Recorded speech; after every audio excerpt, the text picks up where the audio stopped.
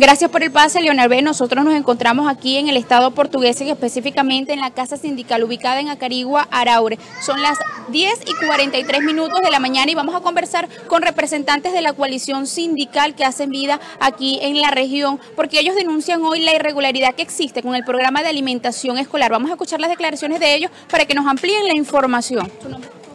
María Elisa Lazar. Eh, sobre la parte que queremos denunciar hoy en día es no solamente por los estudiantes de las instituciones, los niños de las instituciones, sobre las alimentaciones escolares, sino también por los hijos de cada uno de, nosotros como educadores. ¿Qué es lo que está sucediendo dentro de la alimentación escolar? Que la alimentación escolar es un llamado sobre todo para los estudiantes hoy en día, para los planteles, ya que esta crisis que para nadie es un secreto, la crisis que estamos viviendo, ellos son utilizados en el momento en, para, para el, plan, el plan de acción de nuestro gobierno como hoy. ¿Por qué? Mientras un estudiante tú le ofreces su alimentación básica, que supuestamente es básica, es la, una alimentación balanceada, es incorrectamente falso, ya que ellos reciben solamente dos o tres veces al día esa alimentación, que son una porción muy pequeña, que es de caraota o arroz, a veces caraota con arroz, caraota con pasta o frijoles chinos muchas veces solo. En otras, otras que otras instituciones puede ser diferente, pero le varía que sea un pedacito de plátano o un pedacito de bollo. Pero la alimentación balanceada en sí que necesitan nuestros hijos, nuestros estudiantes, nuestros niños, es cada día más deteriorada en nuestras escuelas. Los niños están, nutri si nos ponemos a ver, hay mucha nutrición aquí en, en, nuestro, en nuestras escuelas, muy, mal, muy mala calidad de alimentación escolar.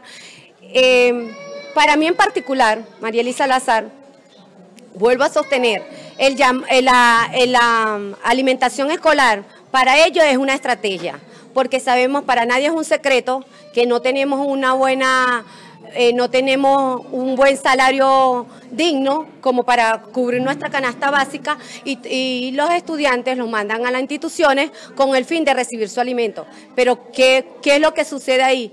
Que la realidad es otra, la que sabemos todos. Esa realidad que, nos estamos, que estamos matando a nuestros hijos prácticamente. Nos comentabas que aquí en la región eh, se estaba apenas mm, eh, eh, dando alimentos en las instituciones tres días a la semana. No se cumple con la jornada de cinco días que es la que los niños van a, los, mm, a las instituciones. Muy pocas veces, eh, muy pocas veces se ha cumplido, sobre todo durante este inicio de año, no, no se ha cumplido totalmente en la semana, ha sido irregularmente y como les dije, y se inició con caraota y pasta y eh, arroz y caraota y cuando no es caraota sola con arroz le dan frijoles chinos. Es algo que si ustedes visitan a nuestras instituciones escolares es, es visible lo que estoy diciendo no es posible que dentro de nuestras formaciones escolares, formaciones cantando el himno, hay muchachos desmayados, hay muchachos que se nos, se en, momentos se ven pálidos y resulta ser que es que esos niños vienen sin su alimentación, contando que en nuestras instituciones hay alimentaciones, porque el llamado a los representantes a través de teléfono, a través de mensajes, ahora con sus grupos eh, de representantes por medio de WhatsApp, manda que está la alimentación escolar. Resulta ser que no es una alimentación balanceada, no ellos no tienen carbohidratos, no tienen proteína, sino como ya le dije, sin volver a... Para nadie es un secreto que tenemos fallas fallas de, de, nutrición, o sea, tenemos nutrición en nuestra escuela.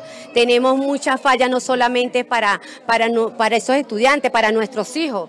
Nosotros somos docentes y, el salario no nos alcanza. Entonces, van, que, van, que, que, van a velar por, lo, por, por los estudiantes, por los estudiantes tampoco, pero por los hijos de nosotros menos. Muchísimas gracias. Escuchábamos las declaraciones de eh, los representantes de la coalición sindical del Estado portuguesa que denunciaban hoy la irregularidad que existe con el programa de alimentación escolar, indicando que eh, no existe ningún tipo de proteínas que le pueda dar a estos eh, estudiantes en las instituciones públicas. Este programa es un programa del gobierno de Nicolás Maduro que ofrece alimentación, debería ser diaria a los estudiantes en estas instituciones públicas. Con esta información nosotros despedimos este pase desde Portuguesa invitándoles a que sigan en sintonía de la señal de BPI TV. Les reportó María Ángel Moro Colmenares. Listo, gracias. Esta transmisión es presentada por... Para alcanzar el éxito, necesitamos estar acompañados, trabajar en equipo en un mismo objetivo. ¿Y a ti? ¿Quién te acompaña? Salvador Peluquería. Visítanos en Maracaibo, Ciudad Ojeda, Acarigua, Santa Bárbara del Zulia, Paraguaná, Panamá, República Dominicana, Miami, Curazao y próximamente en Italia. Only for Men. Centro San Ignacio, nivel Blandín, Caracas.